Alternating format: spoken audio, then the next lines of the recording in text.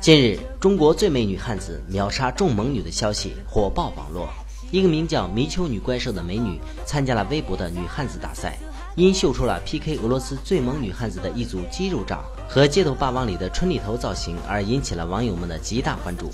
不少网友认为，墙上的影子出卖了这位美丽的汉子。有网友直接揶揄道：“肱二头肌的影子，顺便 P 一下吧。”对此，迷丘女怪兽在微博上留言喊冤。